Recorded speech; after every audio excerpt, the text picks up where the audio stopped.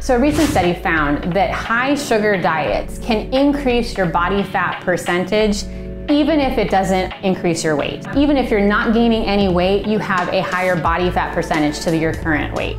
And when I'm talking about high sugar diets, I'm talking about diets that are high in high fructose corn syrup and brown sugar and granulated white sugar and artificial sugars. So those refined carbs make a huge difference in our overall body composition.